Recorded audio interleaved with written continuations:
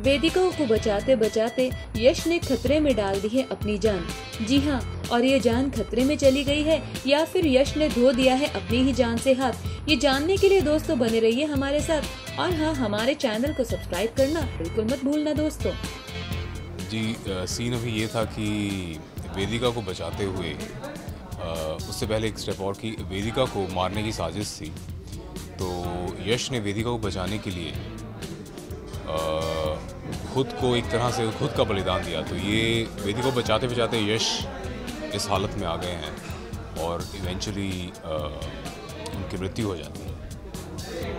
बस वही है। देखिए, ये मैं अभी आपको नहीं बताऊँगा। ज़ाहिर है कि अग्रवाल ख़ानदान के ही कुछ लोग इन्वॉल्व हैं, लेकिन वो आप जब एपिसोड देखेंगे तो आपको पता चलेगा। जी। अच्छी जर्नी थी, बहुत कुछ सीखने को मिला। मैं जी टी को बोधी ट्री को, आपके आ जाने से की टीम को, सभी मीडिया वालों को, दर्शकों को, सबको धन्यवाद करना चाहूँगा, जो प्रोत्साहन मुझे दिया गया।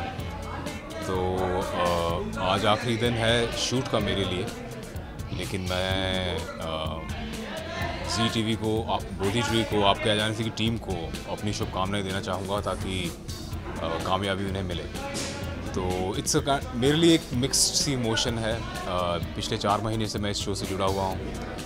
तो अ, जैसे कि मैंने कहा काफ़ी सीखने को मिला और काफ़ी अभिनय करने को और as an actor as a कलाकार भी मैं ग्रो हुआ हूँ मुझे फील होता है। तो मेरी जर्नी बहुत अच्छी थी।